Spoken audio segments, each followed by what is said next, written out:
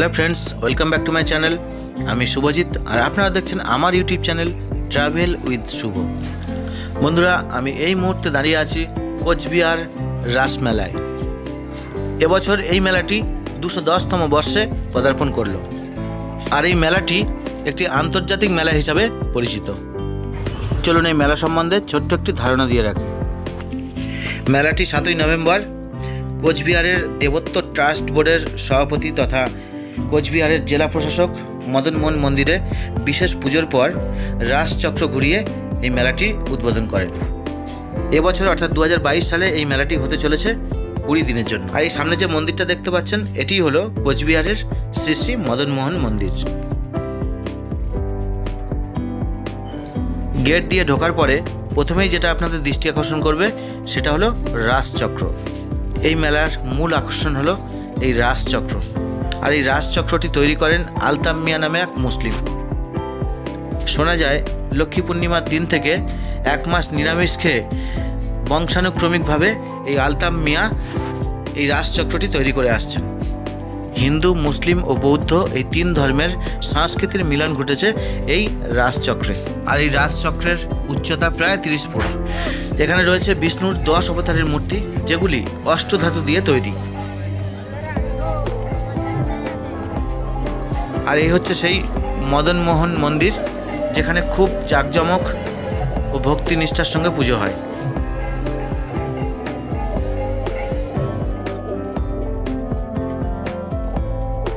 আর এবছরের এই মেলার আরেকটি আকর্ষণ হলো এই রাসলীলা মঞ্চ।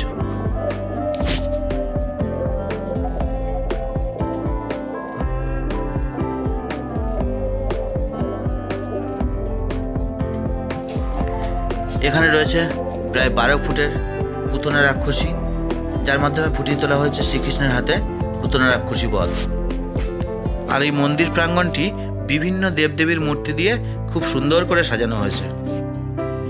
যার মাধ্যমে রামায়ণ ও মহাভারতের কিছু পৌরাণিক কাহিনীও ফুটিয়ে তোলা হয়েছে। শোনা যায়, মহারাজা হরেন্দ্র নারায়ণের আমলে একবার প্রচণ্ড ভূতের উপদ্রব শুরু হয়ে যায়। তখন মহারাজা হরেন্দ্র নারায়ণ সাবেক বিহার নগর থেকে রাজধানী স্থানান্তর করেন ভিটাগড়িতে। সেখানে আবার নতুন করে তৈরি হলো নগর, মন্দির ও রাজপ্রাসাদ। প্রজারাও চলে আসেন দলে দলে এই নতুন নগরীতে। আঠেরোশো বারো সালে রাস পূর্ণিমার দিন মহারাজা হরেন্দ্র নারায়ণ এই রাজপ্রাসাদে প্রবেশ উপলক্ষে একটি রাসমেলার আয়োজন করেন। সেই সময় থেকেই এই রাসমেলার সূচনা বলে মনে করা হয়। পরবর্তীকালে আঠেরোশো নব্বই সালে কোচবিহারের বৈরাগী দিঘির পাড়ে এই মদনমোহন মন্দির নির্মাণ করা হয় এবং সেই মন্দির উদ্বোধন উপলক্ষে এখানেই রাসমেলার আয়োজন করা হয়। আর সেই থেকেই এখানে রাসমেলার অনুষ্ঠান হয়ে আসছে।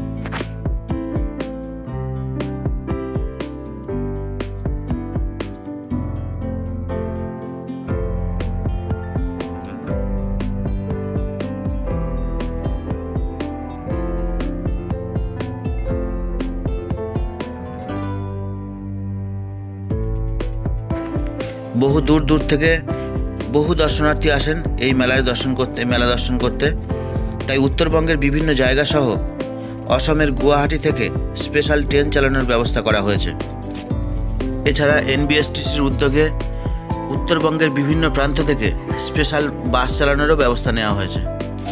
আর এই মেলা উপলক্ষে প্রশাসনের তরফ থেকে নেওয়া হয়েছে কড়া নিরাপত্তা ব্যবস্থা। এখানে নিরাপত্তার দায়িত্বে রয়েছে পশ্চিমবঙ্গ পুলিশ, এছাড়াও রয়েছে সেন্ট্রাল বাহিনী, রয়েছে মেটাল ডিটেক্টর এছাড়া রয়েছে ওয়াচ টাওয়ার এবং দফায় দফায় চলছে টহলদারি। এছাড়াও রয়েছে জায়গায় জায়গায় সিসিটিভির ব্যবস্থা। আর মেলা প্রাঙ্গণের চারদিকের যে রাস্তাগুলি আছে, সেগুলি বেশিরভাগটাই নো এন্ট্রি করে দেওয়া হয়েছে, যাতে অবৈধ গাড়িগুলো না ঢুকে আসতে পারে। আর এই মেলায় পশ্চিমবঙ্গের ব্যবসায়ী ছাড়াও বাংলাদেশ, নেপাল, ভুটান থেকেও প্রচুর ব্যবসায়ী এসে এই মেলায় স্টল দিয়েছে এই মেলার বিশেষ আকর্ষণ হলো বাংলাদেশের স্টল, প্রায় পনেরো ষোলোখানা স্টল এই মেলাতে এসেছে। আর বিশেষভাবে এই মেলায় বাংলাদেশের প্রচুর স্টল দেখা যায়, যা উত্তরবঙ্গ তথা পশ্চিমবঙ্গের অন্যান্য মেলায় এত বাংলাদেশি স্টল দেখা যায় না। মোটের উপর এই মেলা ওপার বাংলা ও এপার বাংলার মিলনস্থলে পরিণত হয়েছে।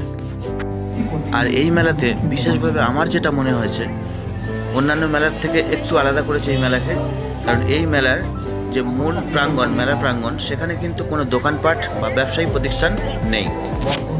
তাদের জন্য আলাদা আলাদা জায়গা করে দেওয়া হয়েছে। বিশেষ করে বাংলাদেশি স্টলেদের স্টলের জন্য পুরোপুরি আলাদা জায়গা একটা রাখা হয়েছে।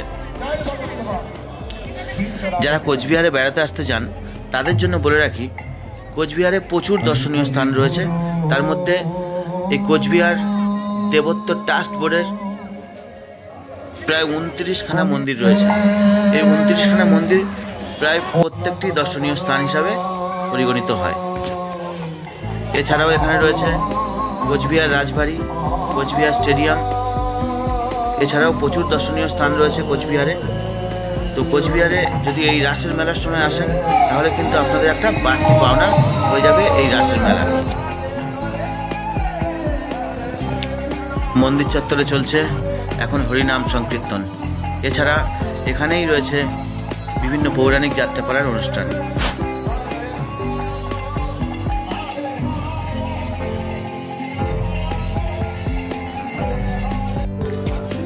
এই মেলায় রয়েছে প্রচুর রকমারি দোকানপাট।